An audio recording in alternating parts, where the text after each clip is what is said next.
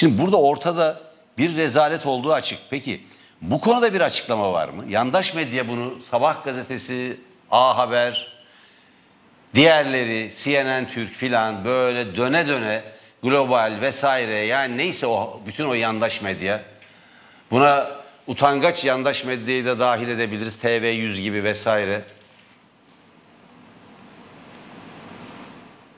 Yılmaz Polat'ın yazısı orada. Yılmaz Polat'ı ararsanız Tele1 Washington temsilcisi olarak size bu sıfatla katılır yayınlarınıza. Bunu anlatır.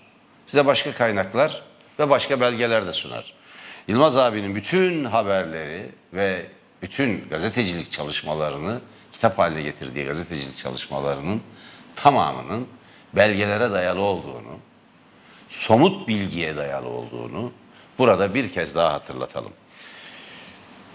Değerli seyirciler bir başka gelişme daha var. Bugün önemli gelişmelerden biri e, de bu.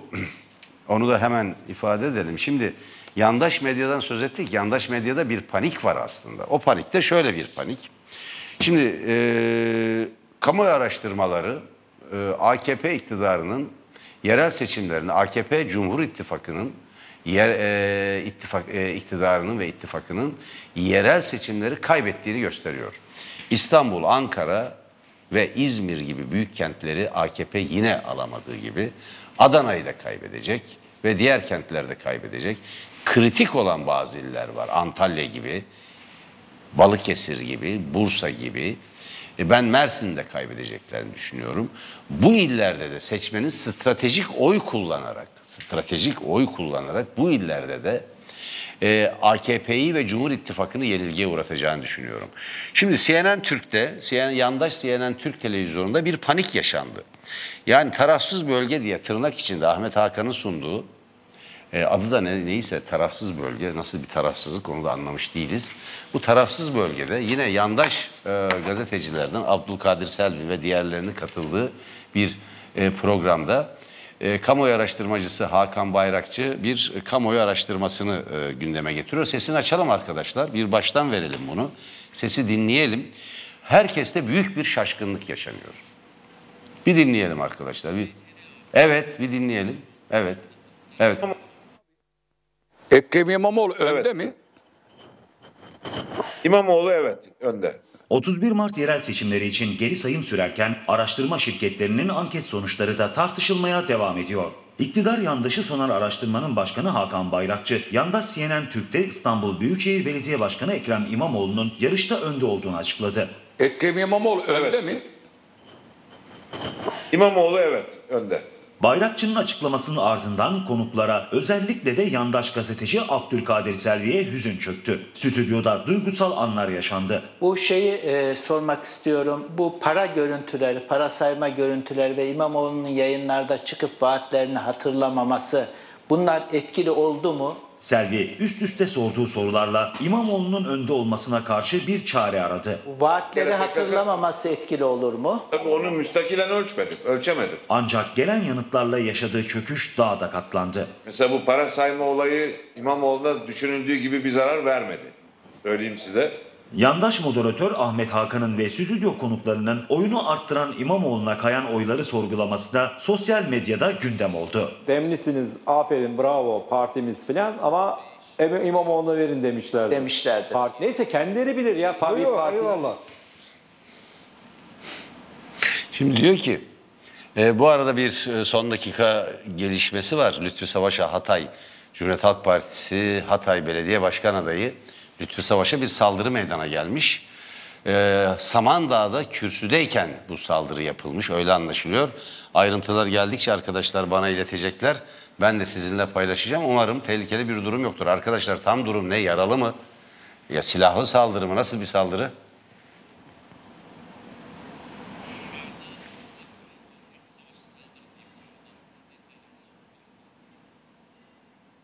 Evet bir haber merkezindeki arkadaşlar gelsin rejiye lütfen. Bir bakalım. İhsan Bey'i bir çağırır mısınız? Bir bakalım. Yani Lütfü Savaş'a saldırı önemli. Hatay'da biliyorsunuz Cumhuriyet Halk Partisi belediye baş Büyükşehir Belediye Başkan adaylığını belirleme konusunda epeyce bir tereddüt yaşadıktan sonra Lütfü Savaş da karar kılmıştı. Çünkü kamuoyu araştırmalarında ifade edildiği kadarıyla Lütfü Savaş önde çıkıyordu. Biz geçmiş olsun diyoruz. Umarım tehlikeli bir e, saldırıyla karşılaşmayız. E, bir yaşamsal sorun e, söz konusu değildir. E, bir silahlı saldırı olmadığını umuyoruz. Ama dediğim gibi ben e, gelişmeyi sizlerle paylaşacağım. Değerli seyirciler, e, Emre Kongar Hoca'ya da ulaştı arkadaşlarımız. Hocam merhaba. Merhaba Merdan Yanardağ. Çok üzüldüm. Lüt- Lütfü Savaş haberine çok üzüldüm. Hocam daha Dilerim bilmiyoruz saldırı Silahlı bir saldırı değildir. e, ya bilmiyoruz henüz. Dilerim saldırı silahlı değildir. Bilmiyoruz hocam, bilmiyoruz. Henüz bilmiyoruz, bakacağız. Ee, ben sizden önce hocam bu yandaş medyadaki bir e, komik, yani son derece e, ne diyelim, e, insanı hakikaten yani e, bir çaresizlik halinden ziyade bir şaşkınlık halinin somut olarak izlendiği bir televizyon programından bir bölüm yayınladık. E, CNN Türk'teki Ahmet evet, Hakan'ın evet duydum. Ahmet Hakan'ın sunduğu Evet, tarafsız duydum. bölge e, programı. Şimdi Duydum, değerli seyirciler duydum. orada bir şey söylüyor. Diyor ki para sayma görüntüler hiç etkili oldu mu? Olmadı mı? Hakan Bayrakçı da diyor ki hayır olmadı. Ya olmaz. Bu para çalınmadı. Bu para zimmete geçirilmedi. Bu para açıklanamayan bir para değil. Bu parayla Cumhuriyet Halk Partisi kendisine bir il binası aldı.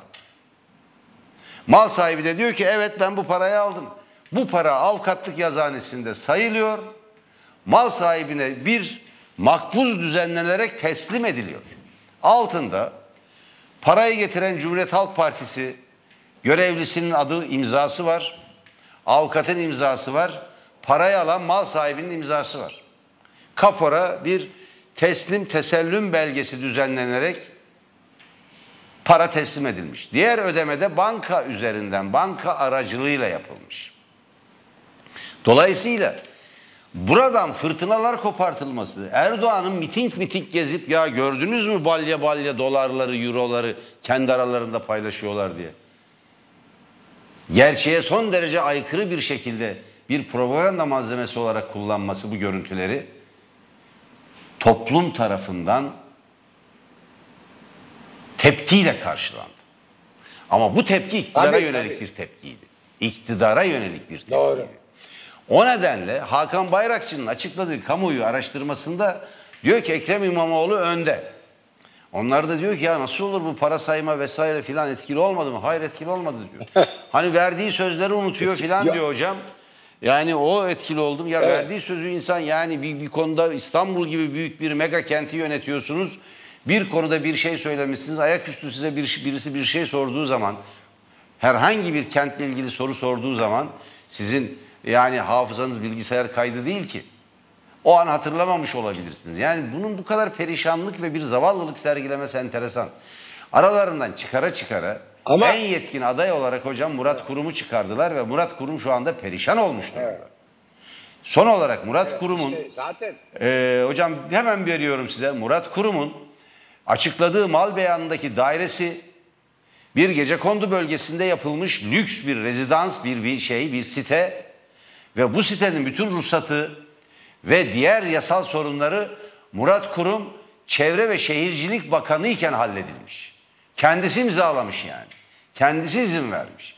Çünkü bir şehirdeki gökdelenler, rezidanslar, büyük siteler belediye ile değil, Çevre ve Şehircilik Bakanlığı tarafından yapılıyor. Erdoğan Bayraktar 17-25 Aralık tarihinde NTV'de yaptığı açıklamada bağlandığı sırada yaptığı açıklamada da bunu söylemişti zaten. O bakanlığı yapan. Başbakan ne dediyse ben onu yapmışım, yaptım dedi. Buyurun hocam. evet şimdi çok iyi hatırlattınız. Ee, Erdoğan Bayraktar'ın hatırlatması ben ne emir verildiyse onu yaptım diyen bir bir ifadeydi. Peki Murat Kurum niye İstanbul Belediye Başkanı adayı yapıldı? Çünkü bütün bütün kupon arsaları